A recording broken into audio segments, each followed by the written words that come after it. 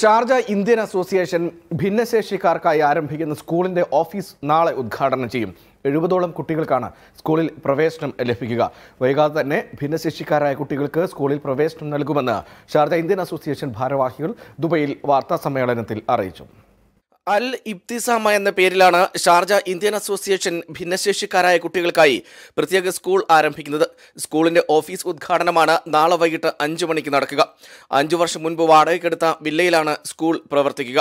അടുത്ത ഏപ്രിലിൽ ഭിന്നശേഷിക്കാർക്കായുള്ള സ്കൂളിൽ പ്രവേശനം ആരംഭിക്കുമെന്ന് ഷാർജ ഇന്ത്യൻ അസോസിയേഷൻ ഭാരവാഹികൾ വാർത്താ സമ്മേളനത്തിൽ അറിയിച്ചു. ഇപ്പോൾ വയസ്സ് മുതൽ പതിനെട്ട് വയസ്സുള്ള കുട്ടികളെ എടുക്കുകയും അടുത്ത വർഷത്തിന് ശേഷം പതിനെട്ട് വയസ്സിന് മുകളിലുള്ള ആൾക്കാരെയും വേണമെങ്കിൽ അക്കോമഡേറ്റ് ചെയ്യാം എന്ന ഉള്ള ഫെസിലിറ്റി തരാൻ തയ്യാ പെർമിഷൻ തരാൻ തയ്യാറാണെന്ന് മിനിസ്റ്റർ നമ്മളോട് പറയുകയും ചെയ്തിട്ടുണ്ട്. അതിനൊക്കെ ഈ പറഞ്ഞ പോലെ ഒരുപാട് ബാധ്യതകൾ വരുന്ന കാര്യങ്ങളാണ്.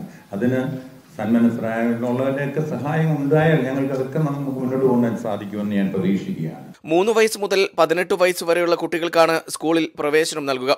എഴുപത് കുട്ടികൾക്ക് അഡ്മിഷൻ നൽകാനുള്ള അനുമതിയാണ് സ്കൂളിന് ലഭിച്ചിട്ടുള്ളത് എന്നും ഭാരവാഹികൾ അറിയിച്ചു. കുറഞ്ഞ ഫീസായിരിക്കും സ്കൂളിൽ ഈടാക്കുക. സ്കൂൾ ജീവനക്കാരുടെ നിയമനങ്ങൾ നടന്നുവരികയാണെന്നും ഭാരവാഹികൾ അറിയിച്ചു. ഈ വർഷം കെ ജി ക്ലാസ്സിന് ഷിഫ്റ്റ് അനുവദിച്ചു കിട്ടിയതായും ഭാരവാഹികൾ വ്യക്തമാക്കി.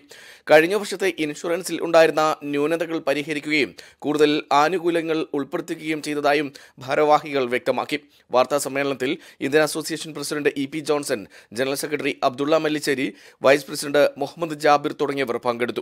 N T V Dubai. ജനങ്ങൾക്കൊപ്പം വാർത്തയ്ക്കൊപ്പം നന്മയോടൊപ്പം NTV UAE to the world.